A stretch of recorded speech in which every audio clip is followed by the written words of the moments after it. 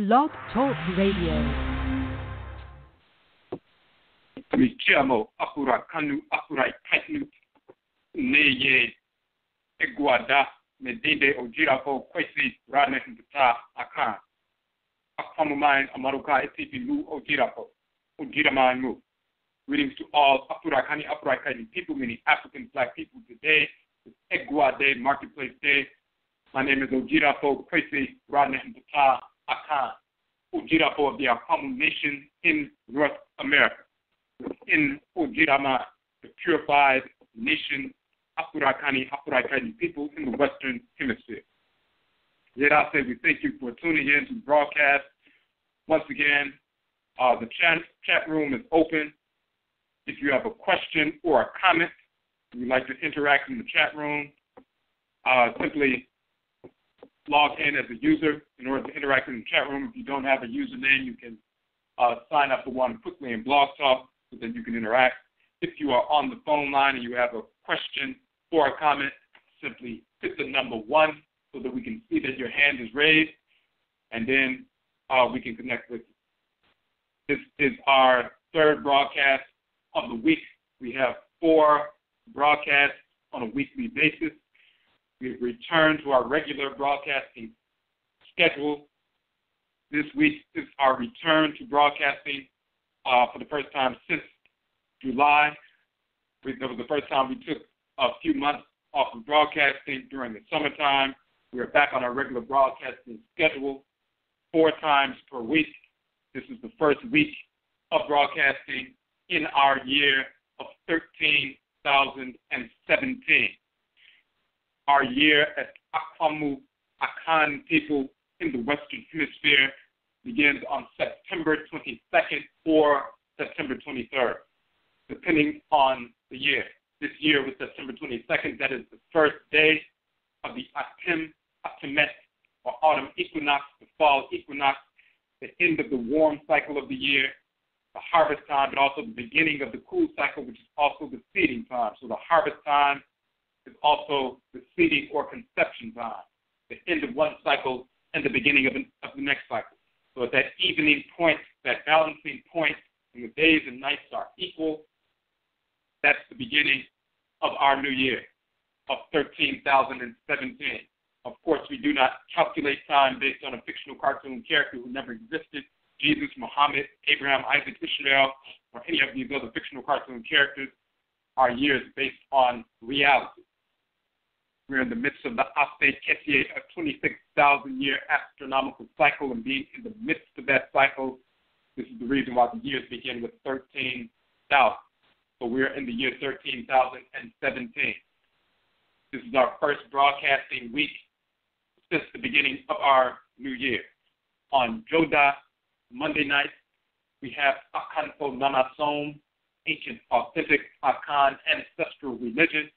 We deal specifically with the Akan expression of ancestral religion, of Afurakani Afurakani, or African ancestral religion.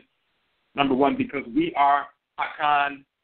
Number two, because of the misinformation that has been propagated about Akan culture, Akan philosophy, Akan ancestral religion, coming from individuals in the Western Hemisphere, including in North America, as well as individuals on the continent of Africa, Africa, and Ghana and Ivory Coast, those who've been infected by Christianity and Islam and white culture in general. Those cultural infections have infected their presentation of Akan culture and philosophy and ancestral religion and ritual practice and so forth. So typically, when they speak and talk about ancestral religion, it's an infected, misinformed presentation. So we return to this ancient, authentic Akan ancestry list, which is born of our blood circle.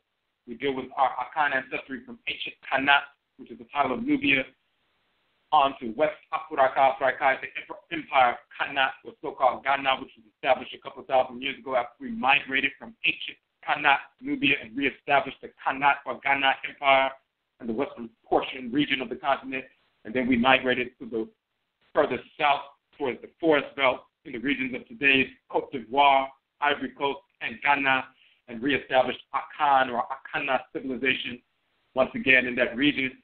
And a few hundred years after that, some of us were forced into the Western Hemisphere from those regions during the Mmusuo Kese, the Great Perversity, the enslavement era. And we ended up in North, Central, and South America, the Caribbean, and Europe. We, this is how Akan people ended up in the Western Hemisphere. But we maintained our ancestral religious tradition, our ancestral religious practices, ritual practices. So we deal with that in detail.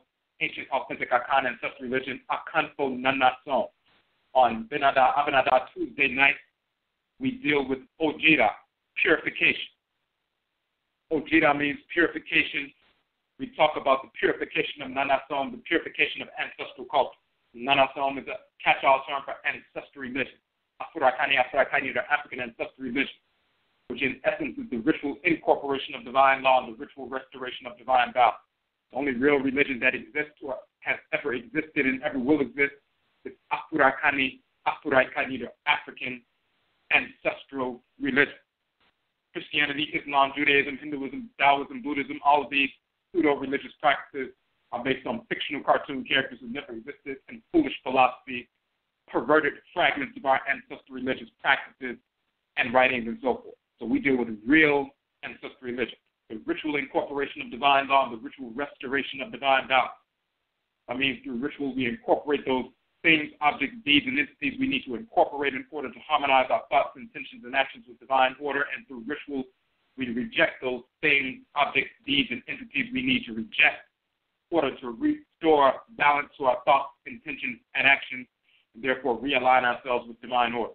So the expansive and contractive poles of ancestral religion, no matter what form it takes, whether it's Akan or Yoruba, Basa or Fula, Fang or Losi or Maasai, or Lobi, or how it manifests in the Western Hemisphere Hoodoo, Juju, Vodun, Rigri, Wanga, Ingengai, Winti, Lukumi, various traditions, the ritual incorporation of divine law, the ritual restoration of divine balance.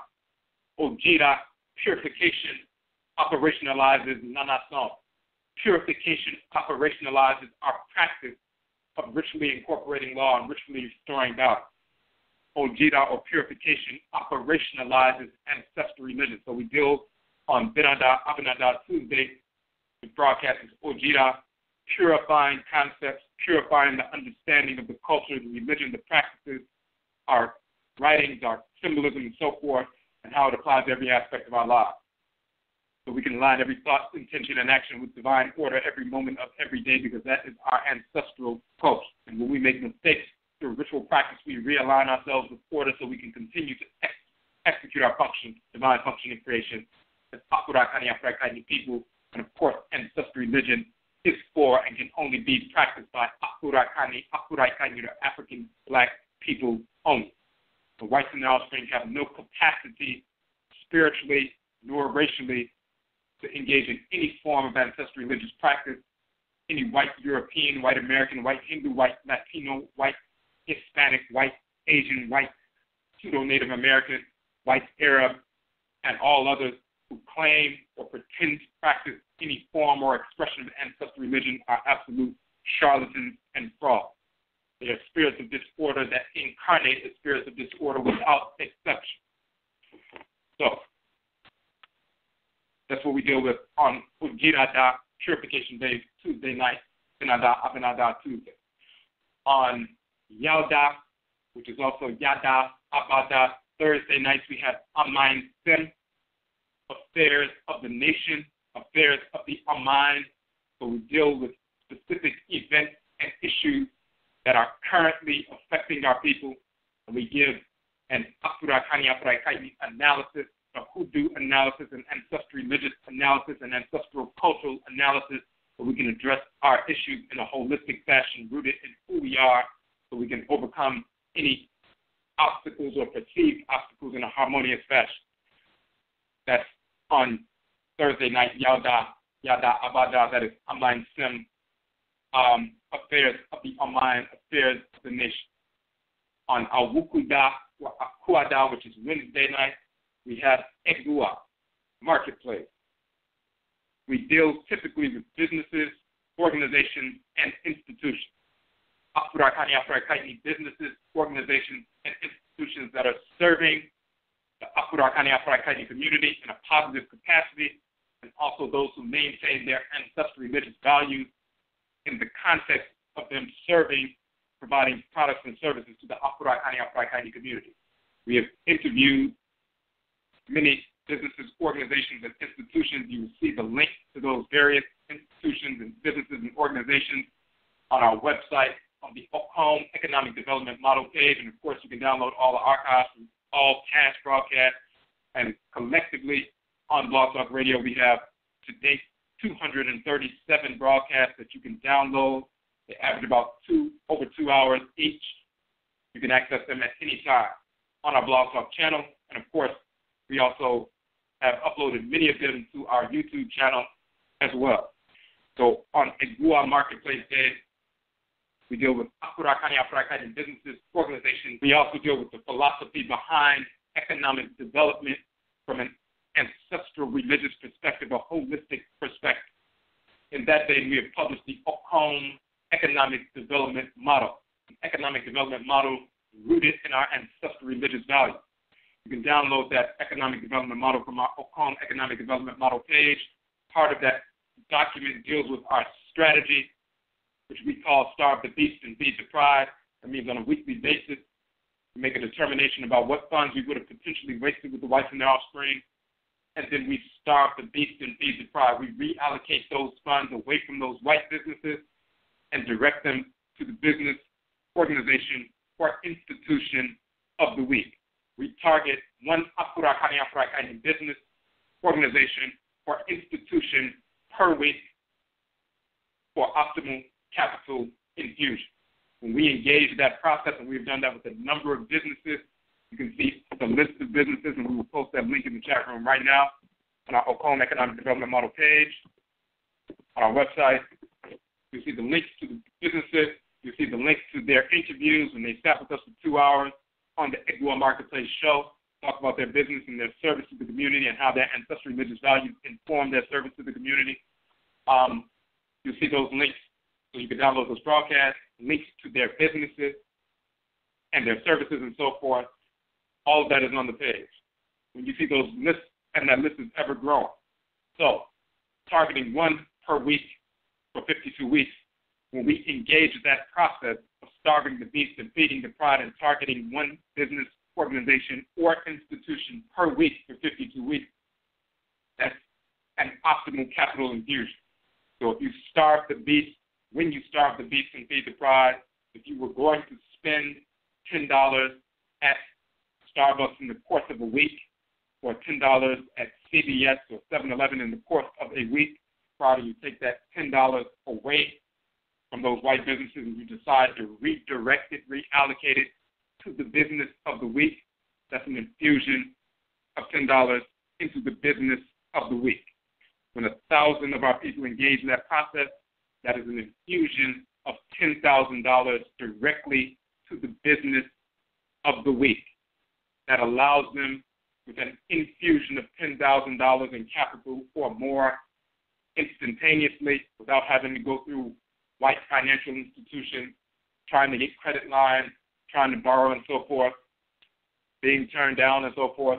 When they receive an infusion of $10,000 in the course of a week, they can expand their products and services to us immediately. They can bring the products and services that we were accessing from white businesses. They can provide those products and services. They can also immediately hire within the community. Instant. You receive a $10,000 infusion of capital in the course of one week, and you can instantly bring somebody on. You can instantly hire a black male or black female to work in the business the next day, instantaneously. Now, just because we starved the beast and feed the pride. Now somebody has a job. If we do not engage that process, then by default, we leave that $10,000 within the white business. They hire their own people. They rob our community of millions, billions of dollars, and they enrich themselves. So we enrich them, and we depreciate our own value by engaging the whites and their offspring. So when we starve the beast and feed the pride, it's a win-win situation. We receive products and services from our own people. At the same time, their businesses expand and they can hire people within the community. Their nearly 2 million black people who are unemployed. There are over 1.9 million black businesses, nearly 2 million black businesses in America. If each black hired one black person, then all 2 million would be employed instantaneously. That can take place easily.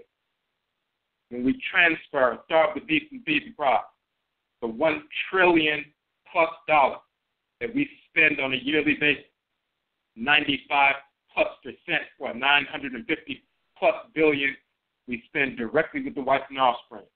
And we do not have to do that. We can take hundreds of billions of dollars away from them and instead of spending that money with them, we can simply redirect and make a conscious decision to transfer that those hundreds of billions of dollars back into black businesses. And instead of paying some white convenience store owner, for example, and uh, patronizing them, we can turn around or matronizing them, we can turn around and patronize and matronize a black convenience store owner in our own neighborhood and put the white owner out of business because nobody is going. Then we're hiring our own people. So we starve the beast and feed the pride. One business per week for 52 weeks. And this is ex- expanding literally. You will see that on the Okom Economic Development Model page. Because we are dealing with businesses, organizations, and institutions, one of the institutions, and this is the business of the week. This week, of course, we're talking about tonight's broadcast is our second annual Hoodoo Mayn, Hoodoo Nation Festival. This is an all-day festival from 11 a.m. to 7 p.m. It will take place on October 16th, which is in Awusida, which is a Sunday, October 16th, in a week and a half here in Washington, D.C. It is a free event open to Afurakani, Afurakaini people only, African black people only. Registration is free. Registration is required. You can simply go to our event notification on Facebook to register. Go to our page, and we'll put the link to the page on the website for detailed information. And we're going to, of course, go through that tonight. We'll put that in the chat room right now. Hold on one second.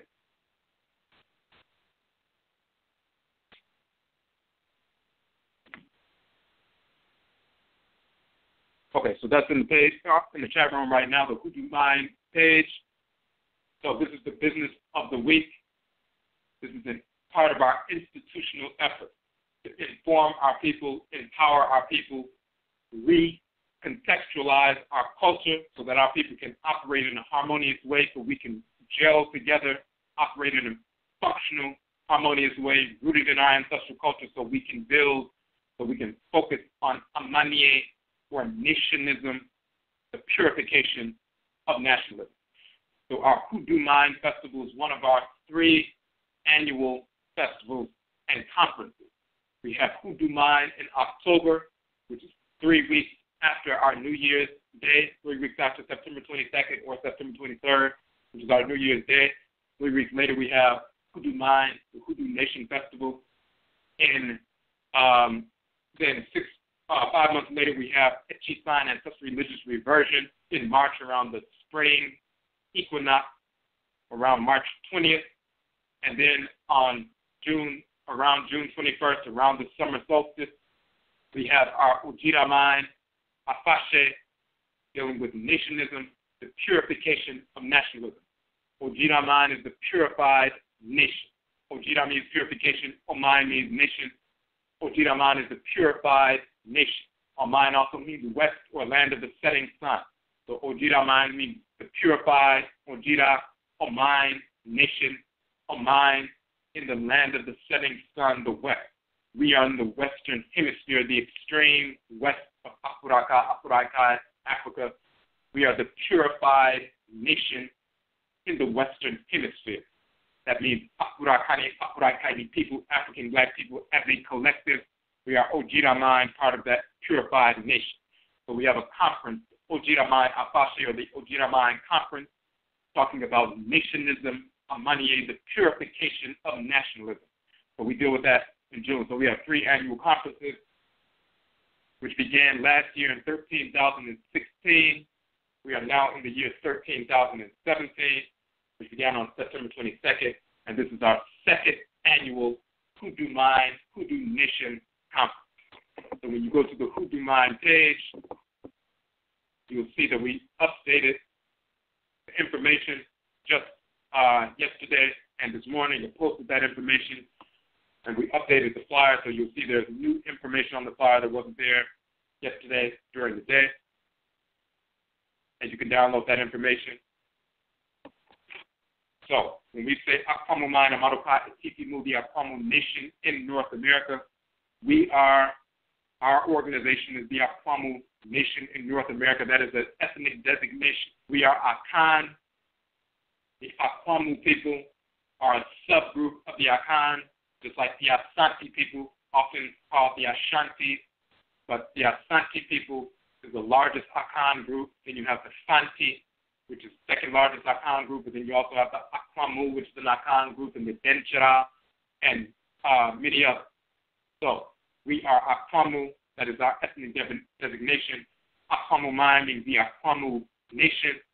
Amarukai Titi Mu means in, within North America. So when we say the Akwamu nation in North America, we are welcoming the Afurakani Afurakani community to our second annual Hoodoo Mind, Hoodoo Nation Festival. Our focus is restoring the consciousness of Akan ancestral identity as hoodoo in family blood circles, culture, and ritual preserved in the Western Hemisphere for centuries. Now, in March, when we have our Etchi Sign Ancestral Religious Reversion Conference, we're talking about the various expressions of Afurakani Afurakani African ancestral religion in the Western Hemisphere. That includes hoodoo, which is the Akan tradition, Juju, which is the Yoruba tradition, Vodun, which is the Fon and Ewe tradition, Gridri, which is the Bambara tradition and other Mande traditions, Wanga, which is the Ovambo and other Bantu traditions, the Gullah traditions, and so forth, in Gengaim, which is the Fang tradition, F-A-N-G, from Gabon and Cameroon and so forth, and other various expressions of ancestral religion that we maintain in our blood circle. So we have a number of different people. When we had our SC Sign conference in March, we had a number of different presenters, six different presenters dealing with different expressions of ancestral religion based on our blood circles here in North America. And we're going to do that again, of course, in March. In October, we focus specifically on Hoodoo, the Akan ancestral religion, because, of course, that's who we are. That's, and we need to clarify what the Akan tradition is. So we deal with Akan ancestral identity as hoodoo and family blood service, culture, and ritual preserved in the Western Hemisphere for centuries.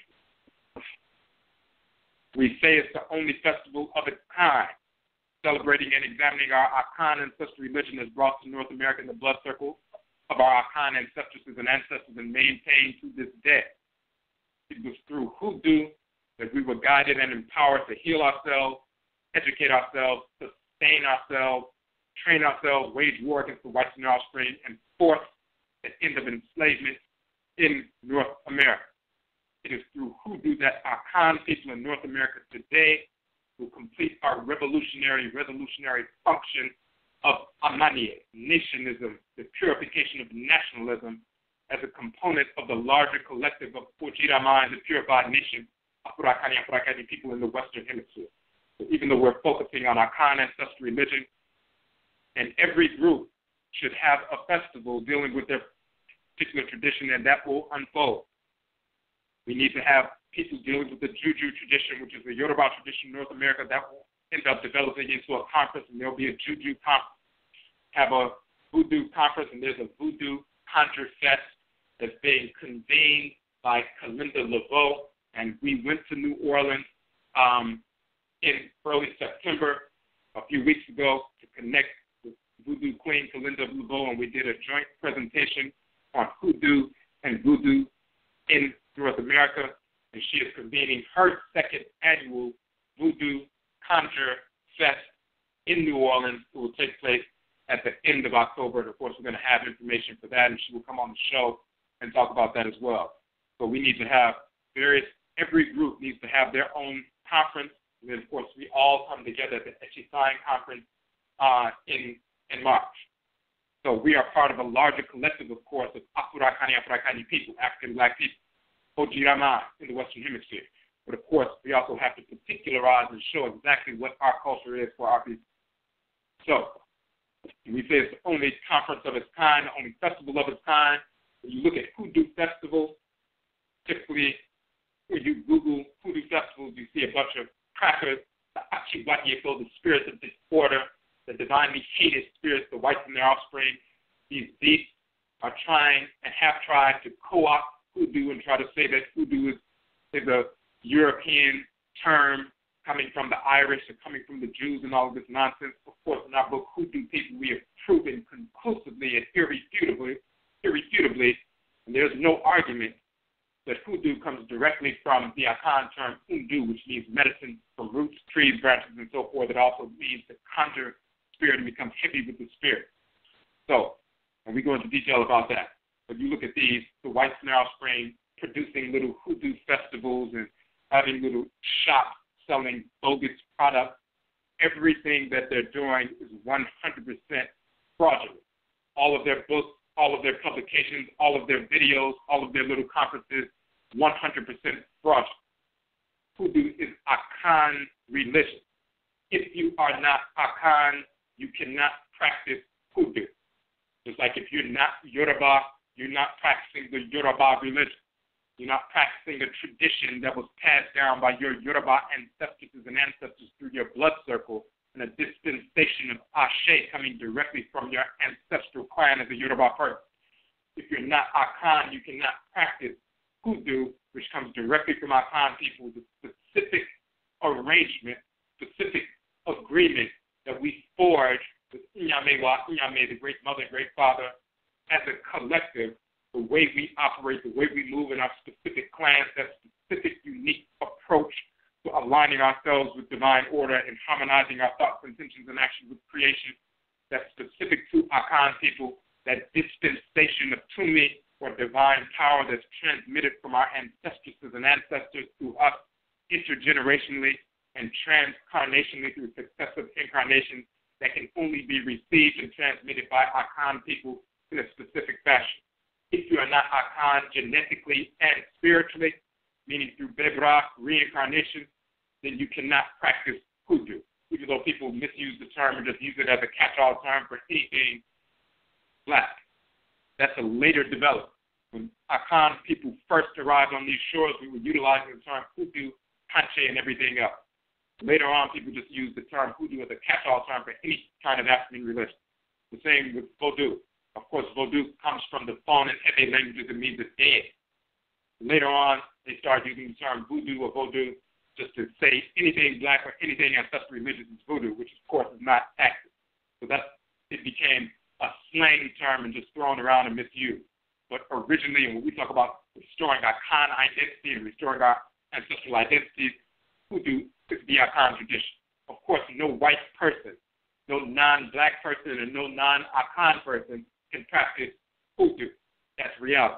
And we have proven that conclusively, and this is one of the reasons we established a real festival, the Hoodoo Mayn, Hoodoo Nation Festival, or the Hoodoo Nation, which is a term for our Khan people.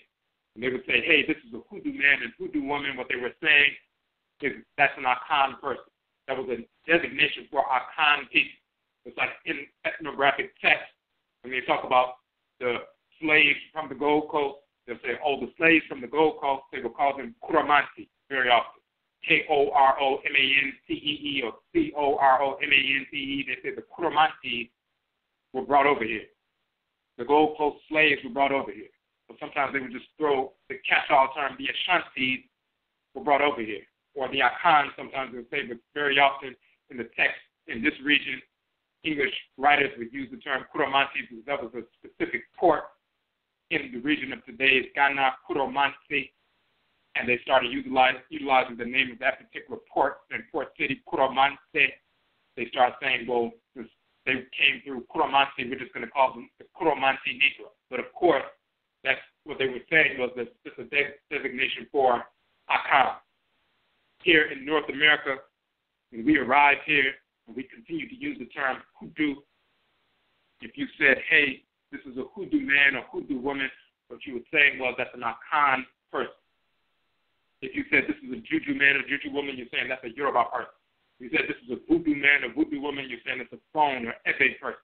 You said this is a Wanga person, that's an Ovambo person, or another one of the Bantu groups that practice Wanga and so forth. So we have these different designations for our religion, but also our identity. So we Akan people in North America, we are Akan people. Of course, they even denigrated that term, started saying an Akan man or Akan woman. They denigrated that to a con man, like someone who's a con artist. They conflated those terms because when people were engaged in ancestral religion or hoodoo, doing divination, being possessed by communicating with the ancestral spirits and the dead, the whites and offspring would try to say that superstition, charlatanism, conning people, con artists, and so forth. They would say that's a con man or a con woman. They would call the priests and priestesses the hoodoo men, hoodoo women, um, as con, con artists and so forth. But in reality, we were Akan men and Akan women. We hoodoo men and hoodoo women. These are designations that we maintain in our religious practices to identify ourselves as a specific ancestral group. So we're taking our identity back and sharing that with our Afurakani Afurakani people. When you see these uh, perverse beasts the whites and offspring trying to pretend as though hoodoo can be practiced by them is nonsense. It has nothing to do with the European pseudo magic, pseudo cultural magical practices, which, which is nonsensical. It has nothing to do with pseudo Native American. Whether you're talking about the white migrant Asian who invaded the Western Hemisphere, they are not First Nation people. They are not the original people. They are not Native Americans. The agents who migrated here are invaders. The first people who arrived on the shores of North Central and South America, the Caribbean, were Afurakani, Afurakani people, black people, and we existed here for thousands of years before Asians existed upon earth, before white people in Europe existed upon earth. So we were, here. The Asian the Eastern Eurasians, which are the Asians, and the Western Eurasians, which are the Europeans. When they came here, they came in contact with us because we were already here. And they waged war against us. So they have always been our enemies. These pseudo Native Americans with long black hair and teepees and so forth, these are not our brothers and sisters. These are our enemies. Always have been, always will be. They have no ancestral religious practice. They simply imitated what we were doing just like the Asians did in Asia, just like they did in ancient Kemet. When the Greeks and Romans and others invaded Kemet, they began to dress like the people of ancient Kemet, take on titles, trying to call themselves sons of Amen and sons of Offset, sons of Ptah, daughters of Isis, Offset, and so forth. All this nonsense, trying to describe Medusa hieroglyphs, imitating every aspect of our culture, trying to take it on, creating white busts statues, temples, white versions, trying to create white white versions of Osar and Aset and Heru, calling them Osiris, Isis, and Horus, and creating all these white, perverse, disfigured, ugly, disgusting statues of themselves and promoting them as expressions of the deities and so forth. They did the same thing in the Near East. They did the same thing in Asia. Of course, they did the same thing over here, and of course, their descendants are doing the same thing, and they try to invade the Yoruba tradition take on Yoruba names, take on, begin to wear Yoruba clothes, begin to use the Yoruba language and call themselves Babalaos and Iyalorishas and Babalorishas and so forth, the whites and offspring trying to invade our culture, imitating us. This is what the Asians did. But they cannot communicate with the Abosom, the deities. They can't communicate with the Nananom Nsamanfo, the spiritually cultivated ancestors and ancestors. So they have no real tradition. So there's no such thing as Native American influence in hoodoo not from the Asian side, nor from the Afurakani Afurakani side of black people who were here thousands of years ago. Some people try to put forth the notion that hoodoo is a combination of what we brought from the continent and what we mixed with the original black population here, and we mixed two traditions together, and that became hoodoo. That is totally inaccurate, totally flawed. Hoodoo is simply the Akan religion that was brought here a few hundred years ago when we were first forced over here. Those populations, Afurakani, people who built pyramids thousands of years ago here, and were living in Central America and South America, the Caribbean, and Europe, when the white and offspring first came to this, these lands, took place with them, and we dealt with this in detail in a previous broadcast. The whites and their offspring did not defeat them simply militarily, as though they were just so strong. They just rolled in here and just started killing everybody and just took over. That means white Euro- Europeans and white Asians. They were not that strong. What took place was the plague. It's like they had plagues in Europe, the Black Death, so so-called Black Death, the bubonic plague, within Europe within five years in the so-called 1300s. Nearly one half of the population of Europe was wiped out by the plague. Millions of people died in the streets. The same thing took place in North America, Central America, South America, the Caribbean. Plagues swept through. And these diseases that the whites and their offspring brought with them were brought over here. So there were plagues that took place that wiped out millions. In some villages, 90% of the population wiped out by the plague. And then the people who were left over were sickly and so forth, and the Europeans were able to kill them. The Asians were able to kill them, wipe them out. And because that took place, this is why this was the decimation of the original black population. Because the original black population was decimated, especially not only in South America, Central America, the Caribbean, especially in North America, because we were smaller in population in North America. Most of us who were originally in the Western Hemisphere were in the warmer regions, in the Caribbean, in Central America, and South America, and so forth. But even there, those the Hansa virus, as they call it, as well as the viruses brought by the Europeans, wiped out whole villages of people, whole nations of people. So because of that, because our populations were decimated, this is why the whites and their offspring, you look at their diaries and look at their documents and so forth, they start saying, well, we need to begin to import those Afurakani Afurakani people from West and Central Afuraka Afurakai to bring over here to, to work as slaves and so forth.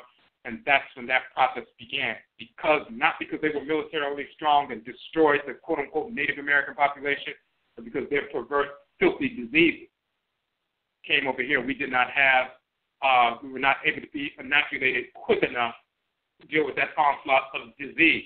The disease preceded them. So, it wasn't the Native American black population who melded their uh, ancestral traditions with the incoming black population from the continent, and the fusion of the two became hoodoo that is totally inaccurate, 100% false. Hoodoo is the Akan tradition.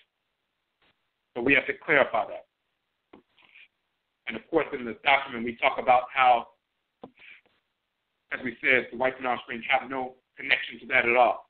We also talk about and prove the fact, for example, in our book, Kukutuntun, the Ancestral Jurisdiction, that all of the fake religions have no basis in reality.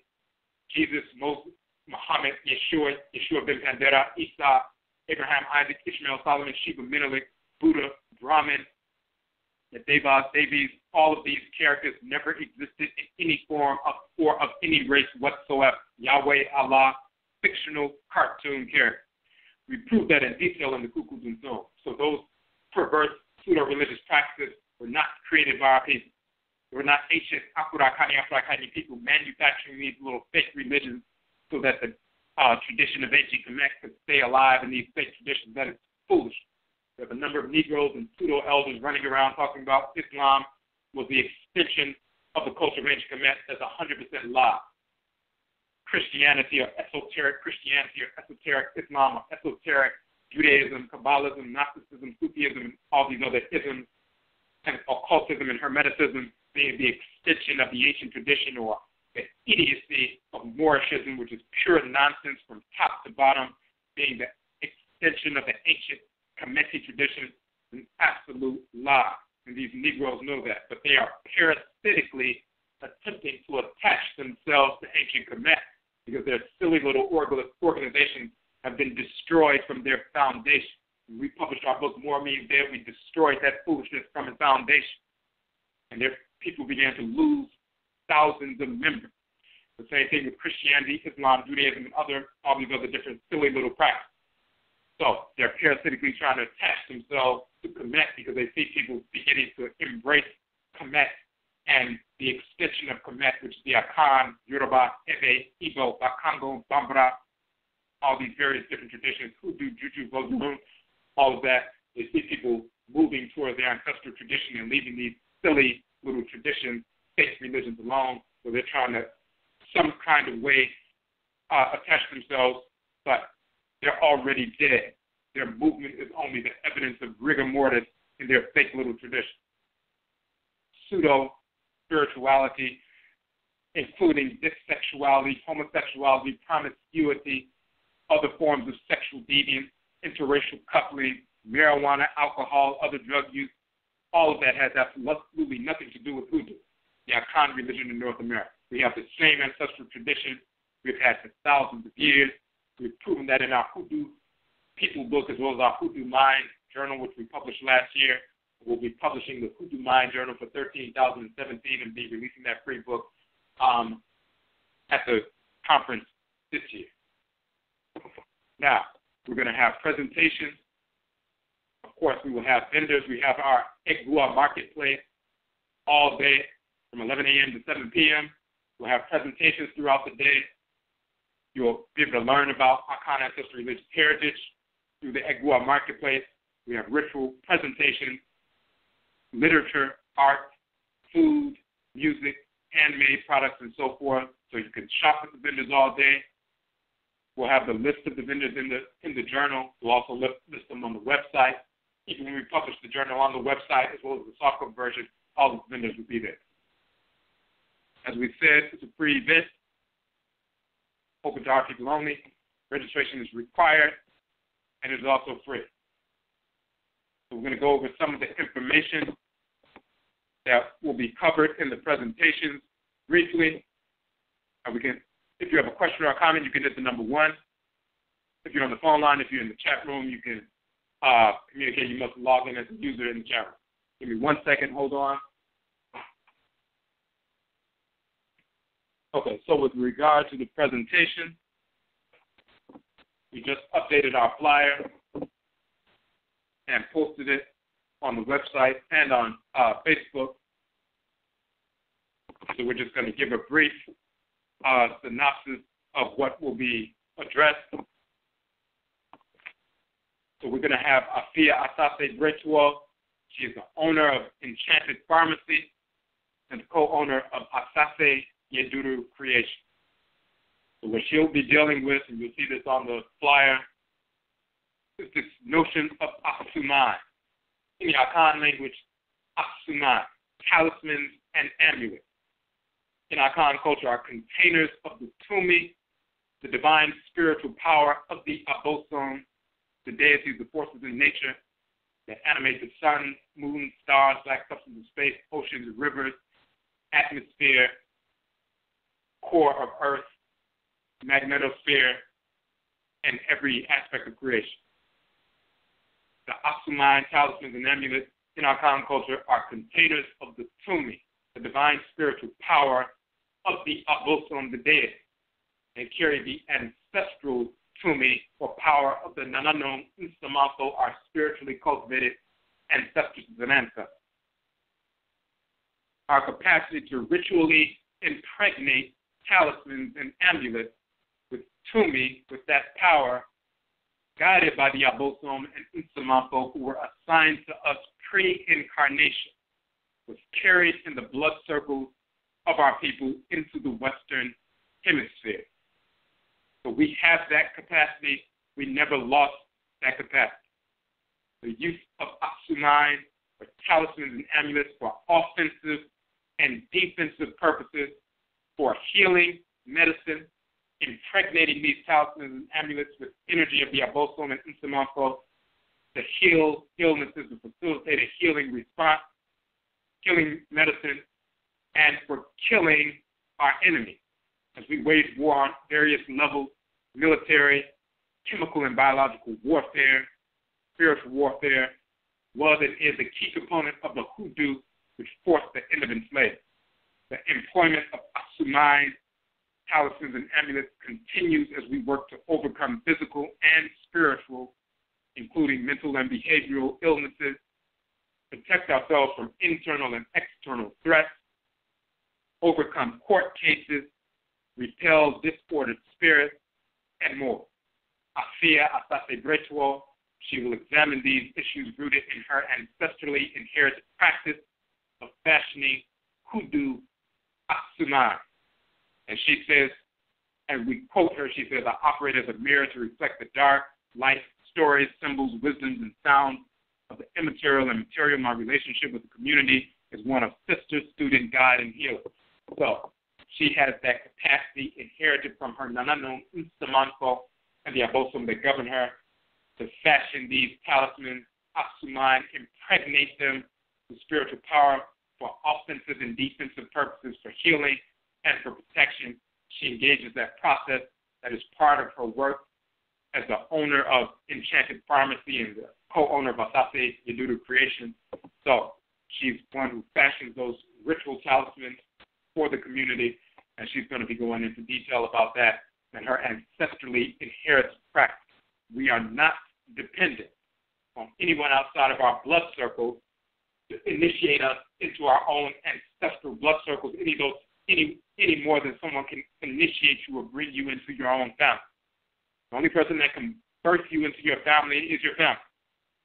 Your direct family, your mother, father, grandmothers, grandfathers, and so forth. You're part of that family because you come through that blood circle. You, somebody else can't come and tell you, well, I'm going to give birth to you today.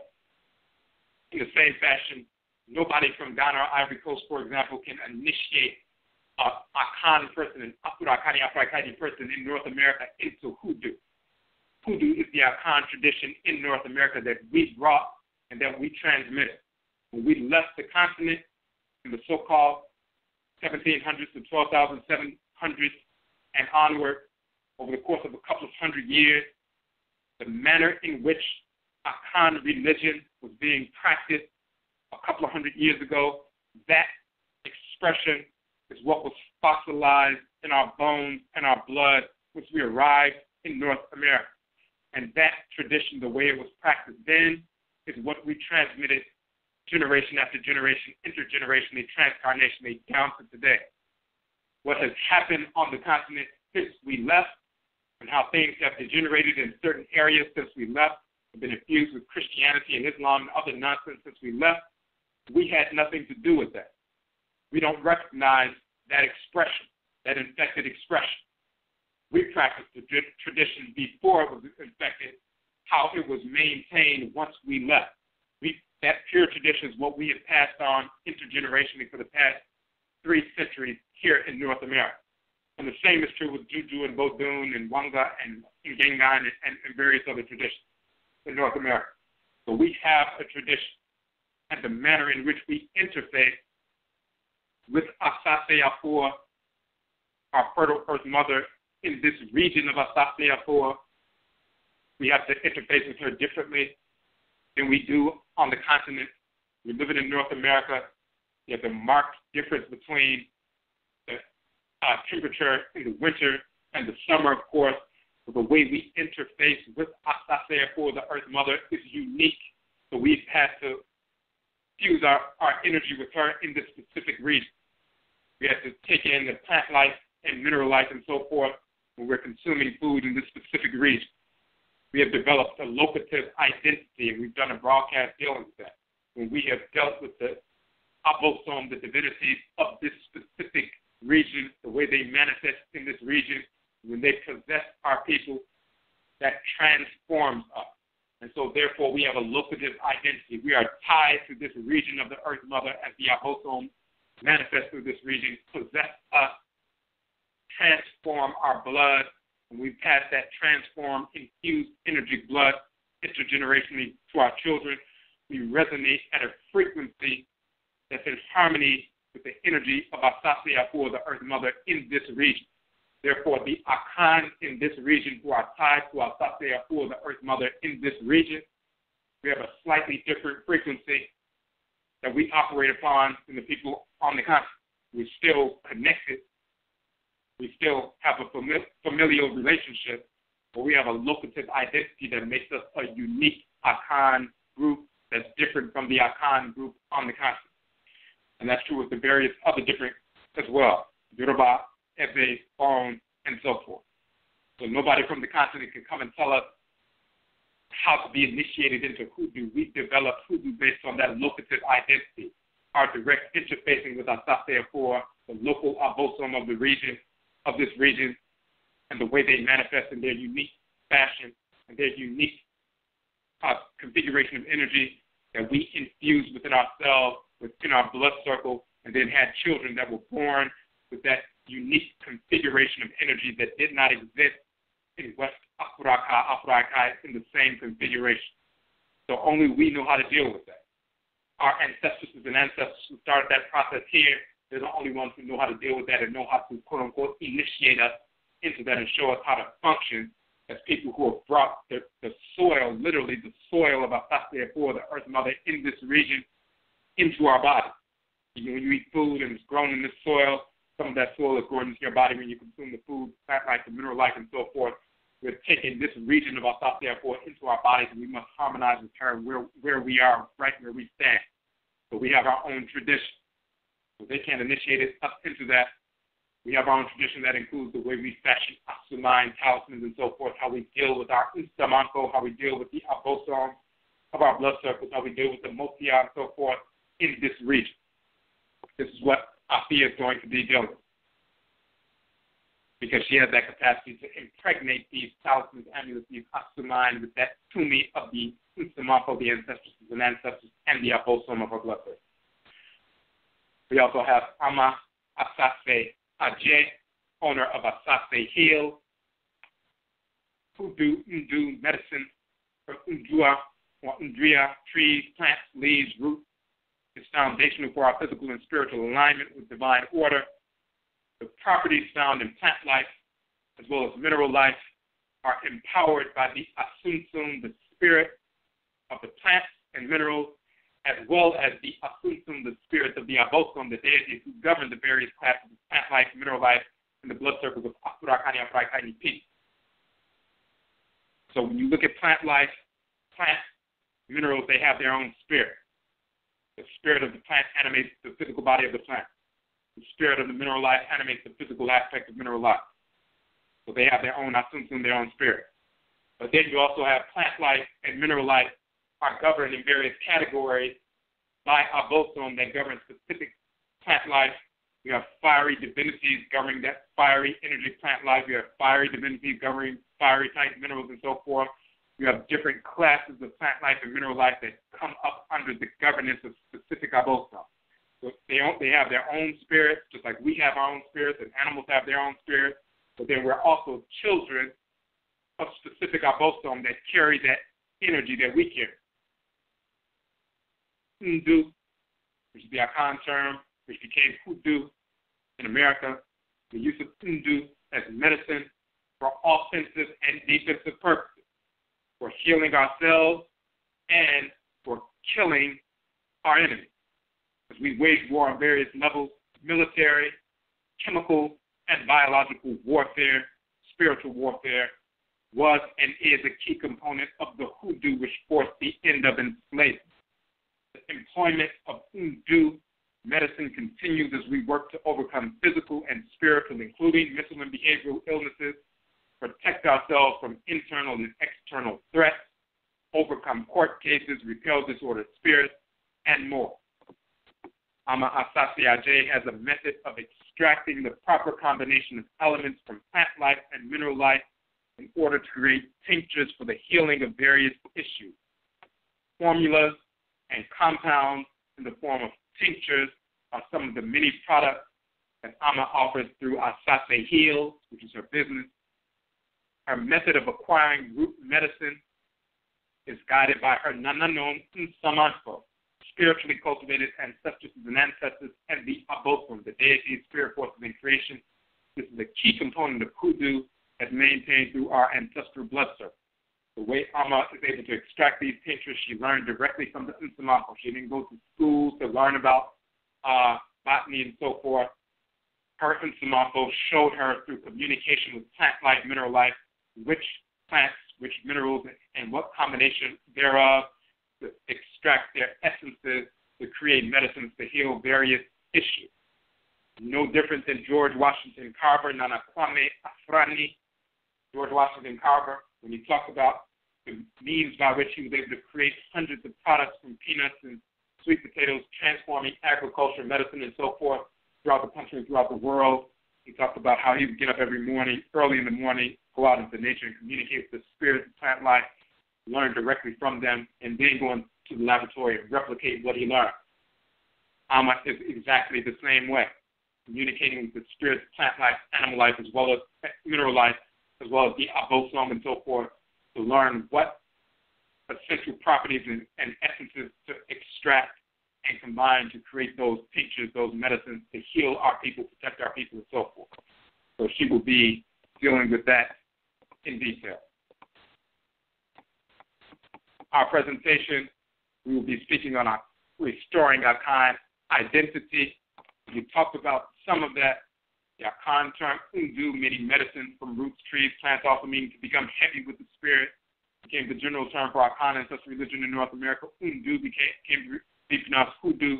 The terms undu or hoodoo, kanche, which is the Akan term, misnomer conjure, moja, talking about blood, but moja also dealing with spiritual power becomes the term mojo in English. Aja or ajapade became ajak or jack and jack ball or jack ball, dealing with medicine, ritual practice, and so forth. Hinti in Akan became hink, meaning a hink spirit that comes from the Akan term Hinti. Jo, or cho, meaning to shout, became shout or shout, like the ring shout, which is a ritual, hoodoo ritual, dancing in a counterclockwise circle, becoming possessed by the ancestral spirits and the deities. Then we're going out to shout. That was the Akan term jo, which means to shout, dealing with releasing sound vibrations to invoke the divinities and so forth and the ancestral spirits. Kumpo became Gumpo or Gufa in, our, in America, the Gufa doctor, Gufa dust and so forth comes from the Kufa or Kumpo in Akan, talking about the Kumpo doctor, the Kumpo healer, healeress, a former priest or priesthood and so forth. These and the various other Akan terms. All Akan terms are born of the cosmology of Akan ancestral religion and culture. The ritual practices and cosmological knowledge expressed through these terms are proof of this reality, and we have published on this. Hoodoo is not a magical botanical art mixed with European and pseudo Native American practices.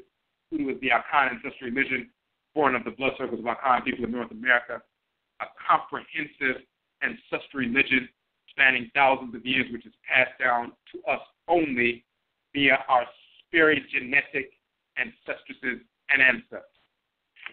And when we talk about that um, comprehensive ancestral religion, we're talking about the great mother and the great father, the deities, the ancestresses and ancestors, the Muki and so forth, full fledged priests and priestesses, deities, the full fledged tradition. Some of these Negroes will try to say, well, hoodoo is not a, a religion like voodoo. Some will try to say hoodoo and voodoo is the same term, it's mispronounced, which is totally inaccurate. Voodoo is a foreign Ewe term. We've defined that and proven that in our Etchy sign book. We show that the term voodoo can be found in ancient Kemet with the same meanings it has in Fon and Ewe. Hoodoo can be found in the Medusa, the hieroglyphs of ancient with the same meaning as has in Akan. Wanga can be found in the Medusa, ancient Kemet the same meaning that it has in the Ovambo tradition and in the Wanga tradition and Gullah traditions of North America. Gregre, a Bambara term, can be found in the Medusa of Kemet as Gregory with the exact same meanings in ancient Kemet as it has in the Bambara tradition on the continent and in North America. And the same is true of the various traditions. Juju can be found in the language of ancient Kemet. It is the Yoruba term with the same meaning as it means Juju in North America. So people will try to say that hoodoo and voodoo is the same term. That's ridiculous. They'll try to say that hoodoo is not like voodoo because voodoo is a full practice with deities and ancestral spirits and rituals and so forth, and it's a full religion. And hoodoo is just about root work and medicine, and you can do whatever you want in hoodoo. That's a, a total lie, full comprehensive Akan ancestry list. The great mother, the great father, Yame, Yame, Aminet, and Amen, the creator and creatress Yonkum Pong and Yonkum Song, who was Ron Ryder and Itchy Komet, who are the grandchildren of Amen and Amen, the deities, the Abosom, the forces in nature, the ancestral spirits of our direct blood circle, full fledged tradition. So we're going to deal with that. That is addressed in our Hoodoo People book and also in our Akra Deen Bosom book, dealing with the Akra Deen, the soul's names based on the seven day week and the deities that govern the seven day week, and the deities that govern the craft, the Krawa, the soul, the divine aspects of the person born on that particular day, which is governed by that divinity. We're going to deal with all of that in our presentation. So us three will be doing presentations. We might have one additional presenter, but definitely us three will have these presentations throughout the day. We'll also have video presentations, and we will also have, of course, the marketplace all day long. So we're going to go through the phone lines uh, quickly. If you have a question or a comment, hit the number one on the phone line. And of course, if you're in the chat room, you have a question or a comment, you can uh, you must log in with your username in order to interact in the chat room. And for those who came a little bit later, you'll see that we placed the Hoodoo Mayn Hoodoo Nation Festival link to our website.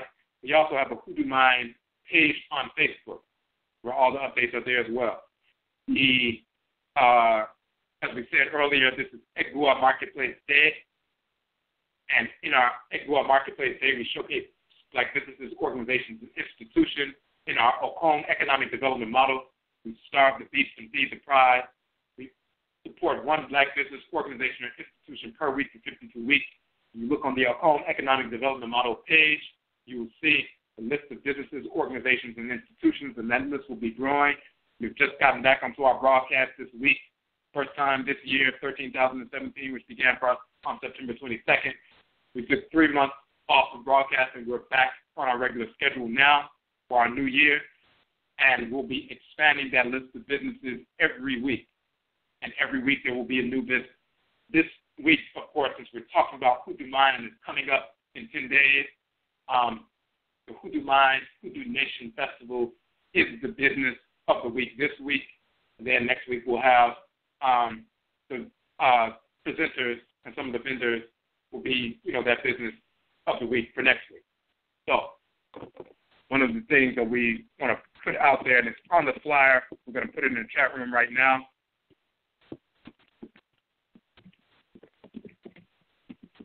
If you look, at Akongwa Suyadain is our institution and if you would like to support the Hoodoo Mayn Festival, you can go to the Akungwa Suyadain link, and you'll see that on the Hoodoo Mayn page, and you can support in that fashion. We're raising funds to establish a physical center for our institution.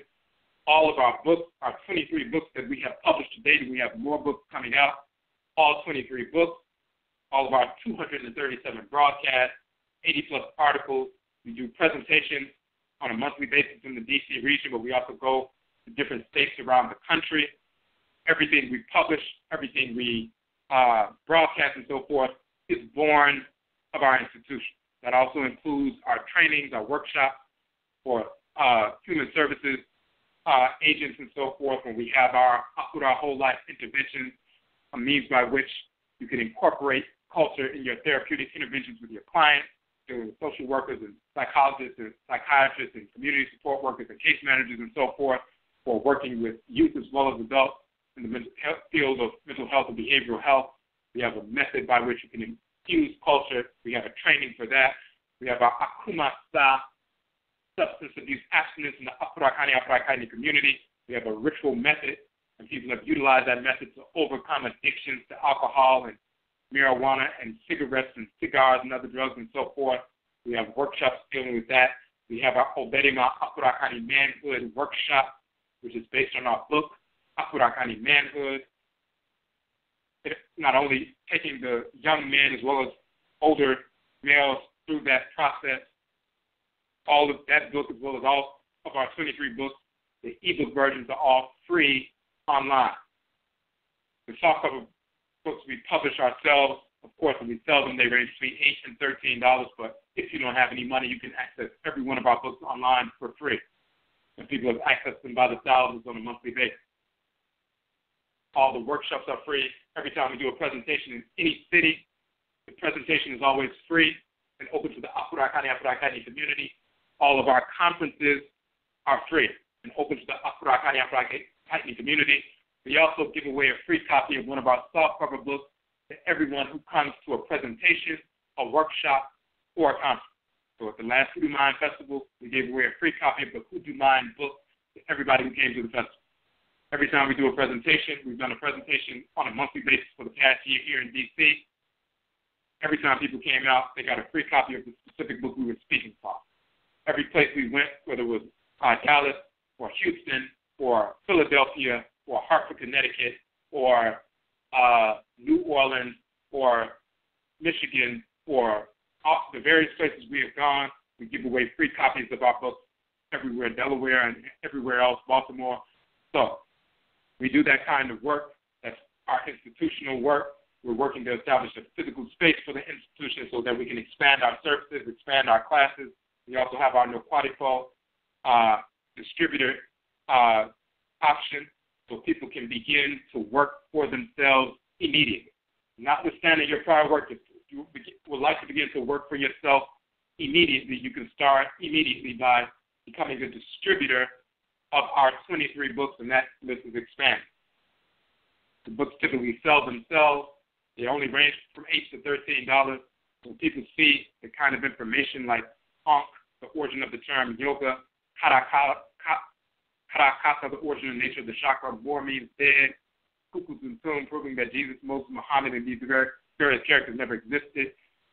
Uh, bisexuality, homosexuality was never accepted in ancient Kemet. We proved that uh, a number of different, the origin of the term God and nigger, naga, nigga has nothing to do with the origin of the term God and so forth. And we proved that linguistically and cosmologically.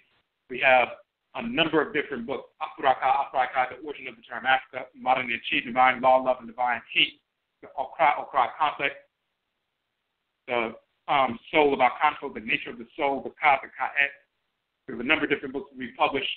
Um, when people see the information and to see the, how low the price is, the books sell themselves. So we have people who are distributing our publications as part of our institutional effort as well. So when we establish the physical space, we'll be able to expand that effort. We'll have employment opportunities with the publishing because we publish all of our books in house. We print them in house. We don't contract anything out to a third party. We publish, we print, and we ship all in house on our own printers. We print our books in color on our own, own printers in house. We do everything in house. So we'll have employment opportunities, and we will, of course, continue with the distributor option. People are independent contractors. They purchase the books wholesale, and then they sell them retail. They do not work for us, they work for themselves. No matter what their previous work history is, they can begin that process immediately. So when you support the Akongwa Suya Dine, the institutional effort, we have a fundraiser for that. You're supporting the institutional work that we are already doing, and our conferences are part of that institutional work to empower, inform the community so we can begin to make proper decisions, stop being self destructive. Once we engage spiritually, self purification, then we make good decisions. And that includes the decisions economically. We starve the beast and feed the pride, and we begin to support one another, support these black businesses, transfer some of those hundreds of billions of dollars we, we give away to the whites and offspring and begin to transfer those to the various black businesses, organizations, and institutions that will allow us to hire our own people, overcome unemployment, overcome poverty, and so forth. We can engage all of that. So our institutional efforts deal with that. So if you want to support the Hoodoo Mayn Festival, um, and we're raising funds as part of that festival to help bring one of our uh, presenters out to help cover those expenses that come from out of state, as well as other expenses for the venues, because of course, as we said, we never charge any admission fee for any conferences and lectures we do. You can go to that Akongwa Suya link. Any donation that you make, you have the option of receiving one or more of our books in return for your donation. So it's not just a donation. You can receive books in return for that, and that in turn will assist us in being able to cover the costs for the venues as well as the travel expenses and the other operating expenses to put on the conferences and the free workshops that we and presentations we do all year long. So you can check that out. We put the link there. And of course, we are the business of the week. So if you'd like to support us and Starve the Beast and Feed the Pride for this week, then we're the business of the week. All right, we're going to go to the phone line. Michelle on the phone line, number 8162. You got a question or a comment? Uh, What's your Michelle, Brother Clacy. What's up? Can you hear me? Uh, yes, I can hear you now. Okay. Um, I have two questions, if you don't mind.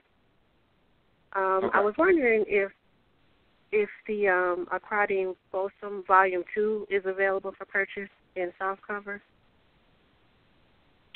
Okay, Aquadine Folsom Volume Two is coming out soon. Initially, we wanted to have it. We were planning to have it ready, uh, like right after the new year, right after September 22nd.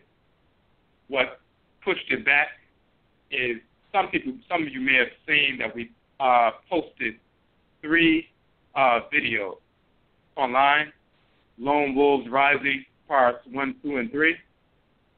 Um, that came up right after the New Year. September 22nd was the New Year, and then two days after that, uh, the Nsamanfo wanted us to go, and we spent, you know, a greater part of that next week focused on producing that information and getting it out. So we had to push back most of the, the seven day New Year's celebration week, as well as that following week. We were not able to finish the finishing touches on volume two, so we're getting back to that now. So it'll be out um, definitely by next week. We'll have volume two out. Okay, but volume one it can be purchased, right? Yes, volume one is out. We have the softcover version is out, and the ebook version as well. Okay. Um, I had a, another question. It's kind of off topic. It's about um, mulattoes and reincarnation. Um, to kind of okay. back off of one of the examples that you've used in the past with um, Barack Obama, um, I think you mentioned before that he's um, an ancestor from the white side of the family. Well, you know, from his white mother. Okay, with him marrying, um, with, well, with him having children with um, Michelle, does that mean that there's still a possibility that um, Malia or Sasha could be a white spirit too? Yes. So, and and that's just true across the board. So whenever you have two people, you have a male and a female, and they come together and copulate, a spirit, or sometimes more than one of its twins, the triplets, or whatever, but a spirit is drawn into the womb. The spirit that's drawn into the womb is either going to be drawn from the mother's deceased relative, one of her people, or more than one if it's a multiple birth or whatever. It's going to be one of her people being drawn into the womb, or it's going to be one of his people drawn into the womb. That's bottom line. It's not going to be somebody else's from some unrelated blood. It's either going to be hers or his. So yes, when he comes to meet Michelle and they get together and copulate, either one of her people, one of those brown people from one of her ancestors or ancestors will come through, and they will come through and be forced to operate through a biracial, you know, quadroon type body or whatever, or it's going to be one of his white, you know, relatives and so forth, and they'll come through and they will be operating through a light brown body. Very often, what takes place is, you know, if it's a white spirit, you'll they'll start manifesting those characteristics, and you'll know who's who. Um, people can do divination ade visa to find out specifically. Most people kind of tune in with their own cry, cry out their soul, and find out anyway. Their Nsamanfo ancestors and ancestors let them know either stay in contact with this person or don't deal with this person. They may not even give you the direct reason. They'll just say, hey, you don't want to deal with this person. Or we just we're repelled from them. So, yes, there's a. Um, it, it could have been one of you know those white ones coming back, or be, be it could be one of the black ones coming back.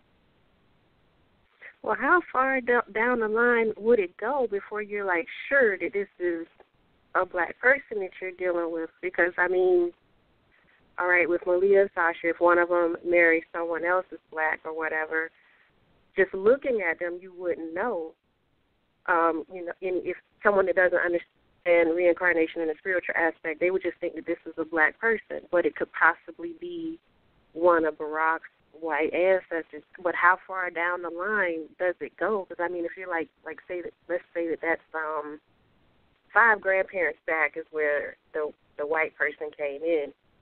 I mean, how far down does it go before it, that's cut out, or is it cut off at all? Okay, so it's not based on time. It's not based on a certain number of generations before. It's based on what the people are doing in real time. So, for example, there's a sister. Well, I've seen a sister. She, if you look at her, she just she just, just got a light brown. You may think that maybe one of her grandparents or great grandparents was Achiwadi for one of the whites in her offspring, but it turns out that her mother is a pasty white crack or whatever. But if you see her son, she she got with her brother. You see her son, he's chocolate brown, full nose, full lips, natural hair, and so forth. You would never think in a million years he looked like he just left Nigeria. You would never think ever that he had any white pollution anywhere in his blood circle at all. Perfectly chocolate brown with no white features at all. He takes mostly after the father. But his actual maternal quote unquote grandmother is a cracker. Now, if he was walking around and never told anybody that, then you would never know. And yes, he could have come from the other side, but based on the things that she's doing, he more likely came from the father's side. But the key is, what are the people doing? Typically, when we during enslavement and so forth, rape had occurred, and you know the biracial body comes out. But because of that race, when one of our people come through as a result of that, and they're quote unquote physically biracial, they didn't want that rape to occur, and the mother as well as the children and the grandchildren, they hate the whites in their offspring. So they direct their people to connect with one another and they develop that kind of connection with their Nsamanfo so that when children grow up, they they're the wombs of the women as well as the young men as far as their sexual apparatus and so forth will be repulsive to any white spirit. And any white spirit trying to come through will be repelled because they have a relationship with their Nsamanfo and immediately from that generation all the way down, no white spirit will be able to come into the womb. But if we're walking around trying to be open to the whites and offspring or trying to embrace them and seeking them out and all this other nonsense, you open yourself up for them to be drawn into the womb. No different than somebody who just, you know, takes a shower and runs outside and their pores are open and they're inviting, you know, infection, inviting bacteria to come in and assault them, as opposed to, you know, protecting themselves and so forth and covering themselves and so forth. So when you open yourself, like leaving your door open, if you know it's thieves, or you, you know, if you walked into a uh, a building in, in some area downtown and there were rats running around, you just decide to leave the door open. They can run into the building. If you close the door and have protection, then they can't get in. So those who are open their spirits to the whites and offspring, then those whites can can return and keep returning because you're opening yourself to them when you have a relationship with your uncle, even just a basic relationship, then the children, grandchildren, great grandchildren, as they're growing and developing and getting married and having children, their spirits, the wounds will repel any white spirit that would even try to get close to them. So that's that's what it is. It's based on what the people are doing. If they're living in harmony with order just on a basic level, any white spirit trying to get near that family their Nsamanfo will repel them, and the only spirits that will be able to return are Afurakani Afrikani spirits. Those who are trying to lust after the white snow offspring and incorporate them in the family and spend all their time around crackers and trying to embrace them and rejecting their own crop, rejecting their own krawa, rejecting the Nsamanfo, then they will be open to these parasites, just like you mentioned yourself, open to bacteria, and then they can invade. And then, yes, they will be wolves in sheep's clothing. They'll be walking around looking brown, with you, you have no idea that this is a white spirit who has returned until they start talking and posting idiotic comments on Facebook and talk about all lives matter and we need to embrace homosexuality and everything else, and then you start realizing, oh, this is a this Negro is different than everybody else. It must be might this might be a cracker. So, but your spirit typically, you know, your cry, your soul, krawa, as well as your Nsamanfo, typically show you to keep certain people away from you, whether they're, of course, the whites and offspring, but even though those black people, there's some black people who are spirits of disorder because they're white spirits who have returned, and some of them became spirits of disorder because they engaged in criminality, and, you know, stealing and raping and murdering and so forth, and their cross separates from them, and they are now a spirit of disorder operating through a brown body. They're no different than a crack at that point. So we listen to our own cry, cry stay and connect with the people who we need to connect with, and cut off the whites and their offspring, as well as those non-whites who are spirits of disorder as well. That's why that proverbial wisdom on the Benada Abanada Tuesday of our seven day New Year celebration revolves around that ebe of that proverb Aborofo ye achiwadiefo na achiwadiefo mina ye aborofo.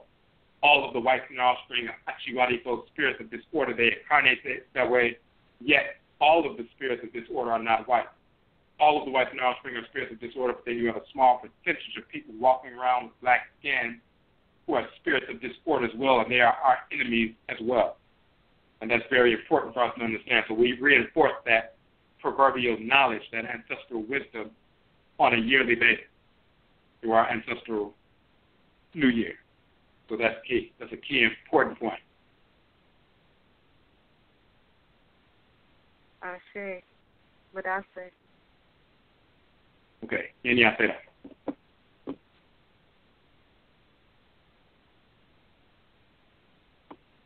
Okay, so uh, we're going to go back to the phone line. Okay, Michelle on the phone line number 8505. You had a question or comment? Evening. Michelle. Hello. Hello, my brother.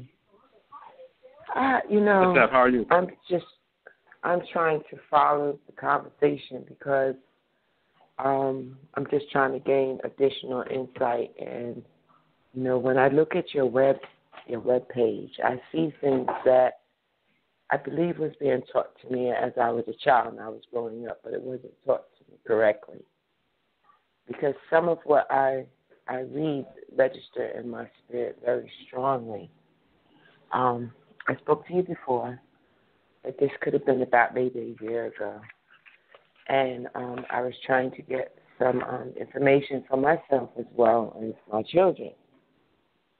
I'm trying to reconnect with my higher self. I'm trying to understand what wasn't taught to me properly in terms of how to not only cleanse my space, um, inside and out, but also assist my children in this walk.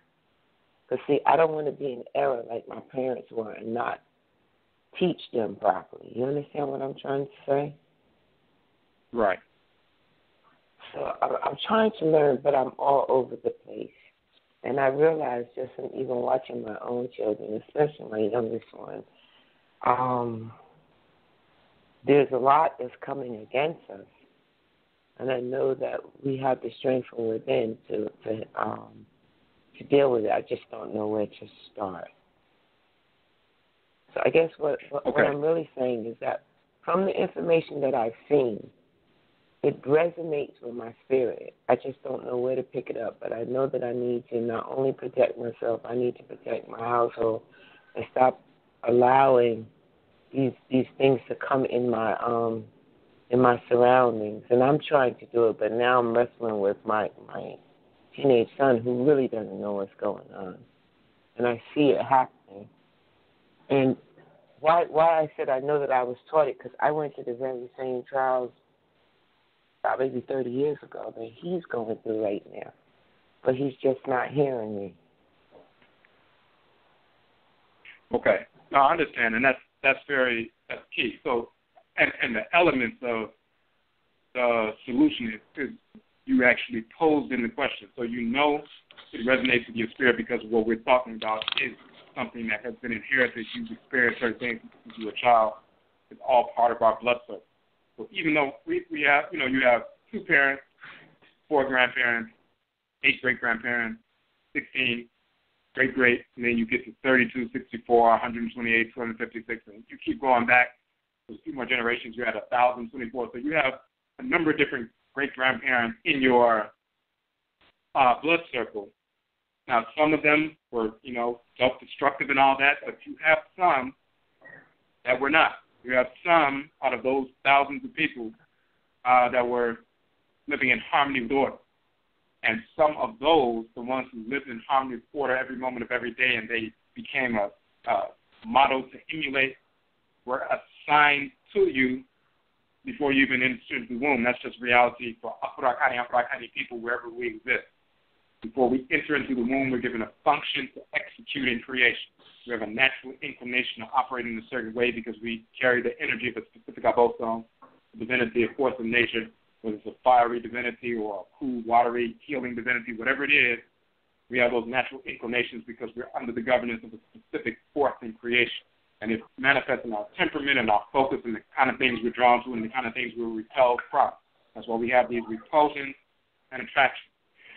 So we have that specific function, and then we have ancestresses and ancestors who carried out those functions in our blood circle. They know the best way of how we are we should carry out those functions based on being part of this particular family and blood circle. So they are assigned to us as well as to guide us throughout the course of our lives. When we have these, you know, communications or directions or admonitions against certain things or pulling you away from certain things and make sure you are right and make sure you overcome certain obstacles and so forth, your Nsamanfo have been guiding you when you've been able to pay attention, when you weren't distracted from, you know, this world just distracting you and this culture distracting us from everything, whether it's TV, you know, school or magazines or radio. All all these distractions are trying to keep us from listening to our own our soul, trying to keep us from listening to our Nsamanfo. Because that's what a hostage really is. It's a, a hostage is someone who's not allowed to communicate with their family.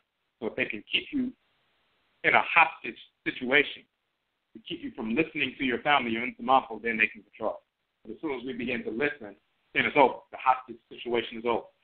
So the key is since you already have those the elements of those experiences, that's where we go back to. So we begin the ancestral shrine is the central institution of learning within ancestral religious practice, no matter what form it is, no matter what group you come from, it's still foundationally that's the institution.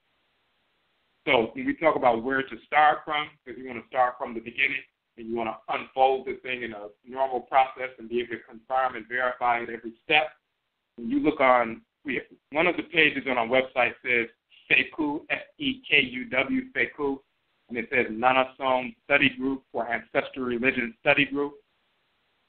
On that particular page, and even on just the regular publications page, both those pages, the same thing. Um, the way we have the books listed, we have them listed in order from the beginning, starting with the Kukutuntun, then the Uben Cheng, and, and so forth. So you'll see that we list them in order in that way, specifically as a self-study curriculum starting from the beginning. Kukutuntun, the ancestral jurisdiction, starts out with the cosmological foundation of creation, the origin of creation. Amen, Amenet, the great father, the great mother, And Ra, the creation and creatress, all these different things, the unfolding of creation, the nature of the deities, the nature of the ancestral spirit, the nature spirit, us as Afurakani, Afurakani human beings, our relationship to the forces of nature, our relationship to the ancestors and ancestors, our relationship to the great mother, great father, supreme being, and our true story, the origin of these fake religions, our true historical narrative unfolds there. So that whole historical narrative starting from the beginning of creation all the way through to our present day is in the Kukutuntun. That's the first book. And then you have the Uben Shang, the second one. So you see they're laid out in order so you could start from the beginning. When you have that foundation of those first few publications, then you can establish your ancestral shrine, and we have that link there. That's the next link after that a basic setup for an ancestral shrine. You're communicating with your own great grandparents who have been assigned to you by the Supreme Being to assist you. So they've been wanting to assist you and trying to assist you all, all along. Now you can simply properly contextualize the, the experiences they've been sharing with you all the time. And you have a deeper understanding of that. So you never have to go outside your blood circle. Everything is, is within the blood circle. and even with your son and other family members, and they see that you're doing things within your own blood circle and it's transforming you and your understanding, then they're more comfortable with making say, oh, this is ours, as opposed to, oh, I got to go join some weird practice religion and go up under somebody and, you know, all this other kind of stuff. When they know it's ours, then they can take pride of ownership because it's ours. And then, of course, we have our Obedima Afurakani manhood books as well as related videos. You can let them see that, check those out as well. But we have the curriculum, self-study curriculum, starting from the beginning. And of course, all of those books, the ebook versions are free. You can download them immediately. And we have videos of our broadcast where we examine those books in detail. So if you read the book and you may not understand certain things, when you listen to the broadcast, we go through the book step by step so you have an even further definition of what's being conveyed. Thank you so much. I definitely will have to do it because, um, I, you know, I know that they're trying to communicate with me, and the distractions are everywhere. And I, I, I don't know if it's because of my job or the problems that I was having within my inner circle, my home, and my um, immediate family members. I got sidetracked by so many different things, but I know that I'm I'm calling to go within and find out exactly who I am and where I'm from and where my strength comes from. But it's been a challenge because of the distraction and it's constant. And and just so you know, that's that's the thing with this culture. That's the way it's designed. They know they can't they can't shut down, you know, the forces of nature. They can't stop them from communicating with us. So the only thing they can do, they'll pretend like they don't exist because they want us to think that they don't exist, but they know they exist and they know they can't communicate. And they know they can't stop the forces of nature from communicating with black people. So the best thing they can do is try to jump in between and distract us with something else, whether it's economic hardship or television or reality shows or, you know, brainwashing people so they're self-destructive and emotionally unstable and they're influencing you negatively because they're idiots. You know, all kinds of things that they put in front of everybody to distract us from everything. So that's that's what's happening with with all of us. So going back to our ancestral traditions, we can, you know, uh, navigate our way through that and recognize what's happening, contextualize what's happening, separate ourselves from the idiocy, recognize what it is, separate ourselves from that, even though we're in the midst of it. It's no different than when you're uh, strong immune wise people in your house can have a cold, they can be coughing and everything else, and it doesn't affect you at all because your immunity is strong. And that's how we develop ourselves through that self purification process. We begin to repel all these distractions. We can be right in the midst of the society of these distractions, but not be controlled by them because we're repelling. them. And then we can affect other people that we're close to and help them repel it as well. Okay. Is there is there a reason why? Is there a specific reason why in the bloodline that you will go through certain um, like repetitive cycles? Is it is it a matter of like maybe we angered our ancestors, or is it just a part well, it, of the it depends on what growth? Well, it depends on what's going on, case by case thing. Some sometimes you can make uh, decisions. You get locked in a pattern of certain decisions. Like for example, sometimes a sister or a brother, they keep they seem like they keep coming in contact with the same kind of individual that they get involved with, and it becomes it deteriorates into the same kind of negative relationship. Time after time, it's the same pattern, and they're making similar decisions. They may say, well, this time I'm going to give this person the benefit of the doubt, but at the same time, they're making the same decisions and they're making the same uh, at certain critical junctures, they neglect what their crowd, what crowd was telling them to do. Because it doesn't beat them over the head necessarily and drag them up out of bed and say, hey, don't do this. You just get that inclination in your head. Say no this time. You're like, oh, no, I'm going to go ahead and give them the benefit of the doubt. And that, that one neglectful, you know, dismissive, you know, thought of what your own cry is saying can lead to negative circumstance. And then if we have that dismissive attitude every now and then when the crowd speaking or the Nsamanfo is speaking, then it seems like we keep coming into these same situations. But it's not like a family curse per se. If we've been mm-hmm. programmed to, you know, operate in a certain way, when we break that programming and start saying, you know what, I'm going to listen to what my cross says, even though it seems like maybe I should give somebody the benefit of the doubt. No, I'm going to listen to what my cross says. I'm going to go against what I normally do and only listen to what my cross directing me to do. Then that breaks the cycle, that breaks the mold.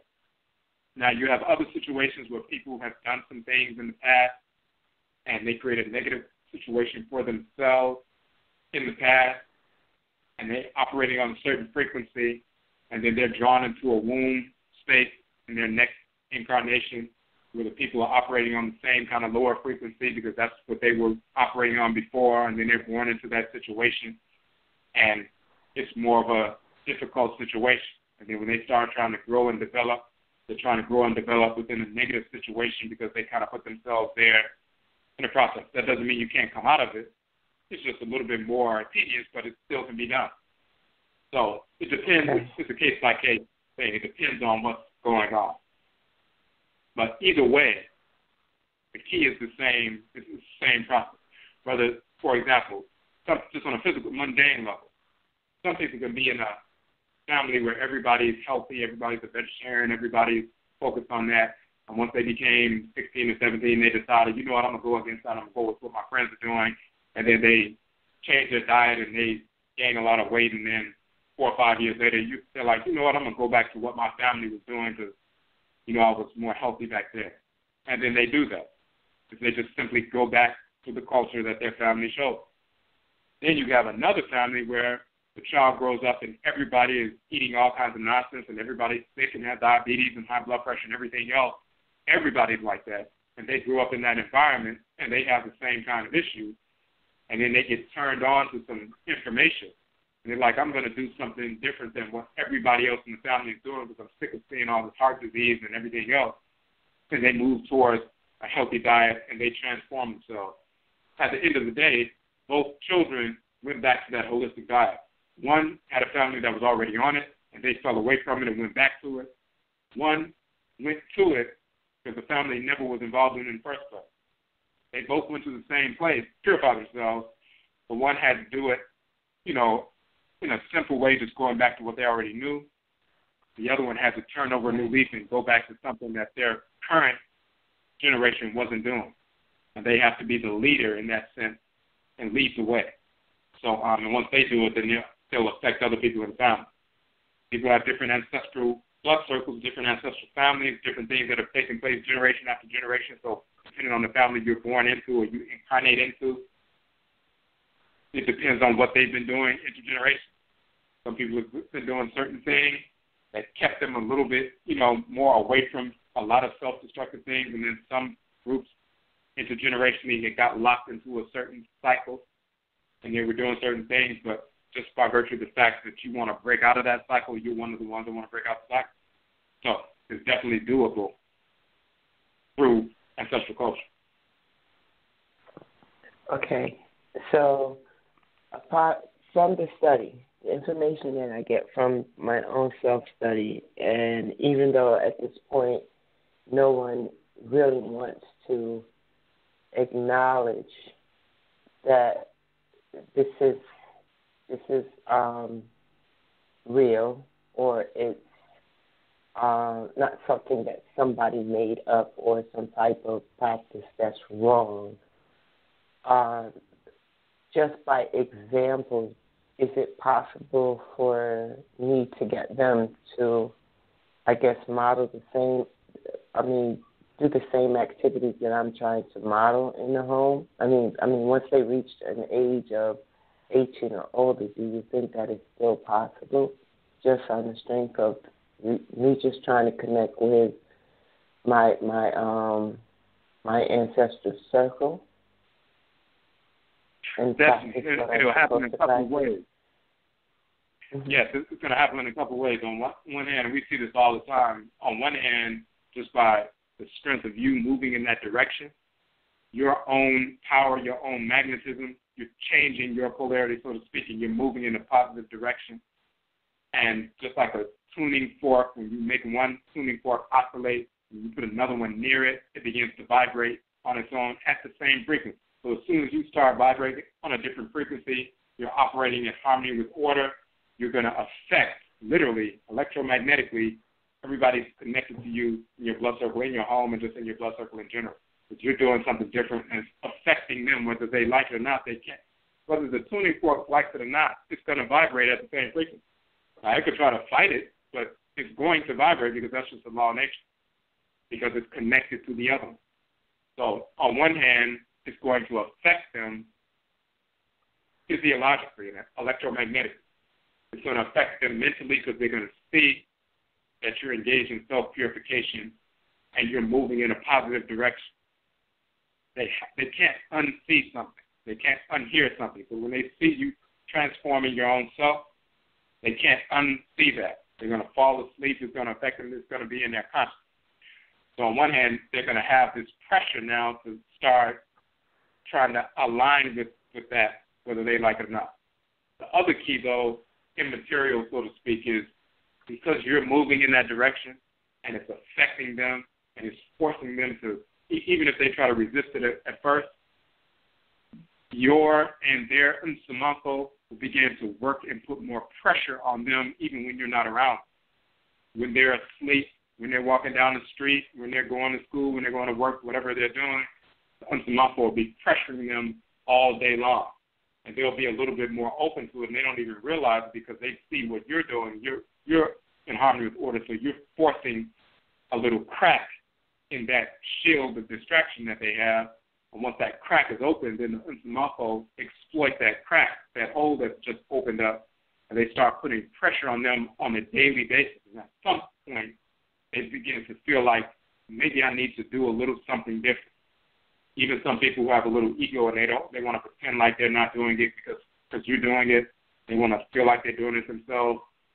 That that happens as well. But they're going to be feeling that pressure, whether they're sleeping, whether they're awake, throughout the course of the day. So will be working on them, and that that forces change.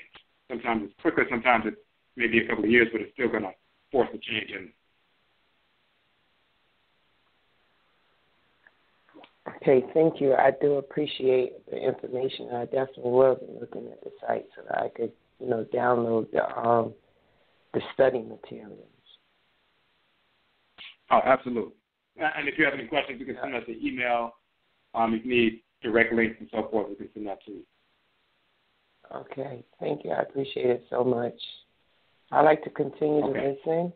When you take the next caller. Okay. No problem.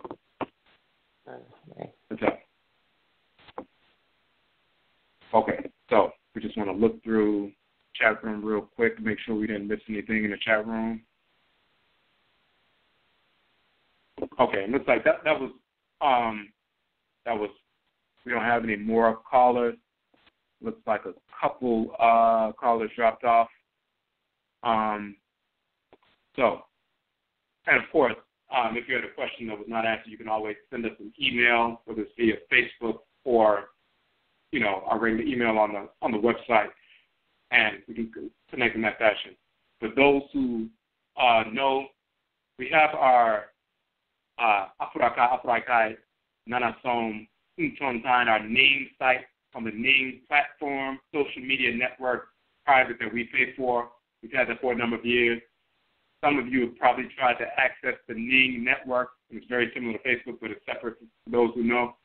Over the past uh, about a week and a half, almost two weeks, the Ning network across the country have been down. Uh, Ning went through a buyout through some other company, and they've been going through different things, and the networks have been down. People have been complaining. People have not been able to access their networks. Sometimes it's been intermittent. Uh, for some others, most just have not been able to access the network, period. Members have not been able to access the network. It just says that this network doesn't exist. They have not fixed it yet. Um, and then owners of networks, we cannot access the network. We cannot access the email addresses. We can't send out notifications. We can't see the site at all as well. So there are thousands of people now who are shifting to other platforms because Ning has had problems in the past, and that's probably why they sold out and you know got bought out by, by another company, but they're still not doing what they need to do. We are migrating away from that, um, and we're going to have the new platform soon, and we'll announce that. But uh, the key is some people were just on the Ning site and they didn't use Facebook or don't use Facebook and they don't use Twitter and Instagram and all of that. So some people are not receiving. Normally, we would send a mass email out, you know, via the Ning site, and that's how we would communicate to most of our people. We have hundreds of people on the site. Some people, that's the only kind of network that they use. So they now we're not able to reach those people. We're still sending out notifications via Facebook, Instagram, Twitter. We're Odwirafo on Twitter, Odwirafo on uh, Facebook, Odwirafo on Instagram, also Kwetiaka on Facebook, um, Odwirafo on YouTube, and of course we send a mass email out via the Blog Talk Radio, emails and so forth. But if you know somebody on the Ning site who's not typically on, you know, Facebook, uh, please email them and let them know that there's a reason why the Ning site is down, um, so they they can get with us via Blog Talk or get with us on Facebook or Twitter or YouTube and so forth until we establish that new platform. So this is why you haven't been receiving those emails that you normally receive or updates on everything that we're doing, including your broadcast and so forth. Um, but once we establish that new platform, we will let everyone know. So uh, we're going to end the broadcast here. If you you could again email us on the regular website or via uh, Facebook primarily. Um, please let others know about the Hoodoo Mayn Festival. If you'd like to support the work that we are doing, go to the fundraiser site, the Akongwasuya fundraiser.com. You can see that link on our website on the Hoodoo Mayn page, on the other pages that assist us in the travel expenses for presenters as well as operating expenses and so forth for the Hoodoo Mayn Festival to come off successful. Of course, again, this is a free event for the community, we cover all those expenses. Um, your assistance, of course, is greatly appreciated. So you can do that at any time. And uh, again, you can receive one or more of our books in return for your contribution. That is an option for you, and you will see that and all of the details on the Akongwa Suya Dine fundraising link on fundrazr.com, fundrazr with a Z, as well as the Nhoma publications page. You can just, if you would like to purchase some books that you haven't purchased yet, that assists us as well. So whether you make a purchase of books or you made a donation via PayPal or the fundraiser site, either way, that still assists us in what we're doing. So again, Yedase, we thank you for tuning into the broadcast. We will be back on tomorrow for Online Sin Affairs of the Nation. We'll be sending out notifications for that. So, Yedase, we thank you for tuning into the broadcast. And Yedishia Bio, we will meet again. What's up?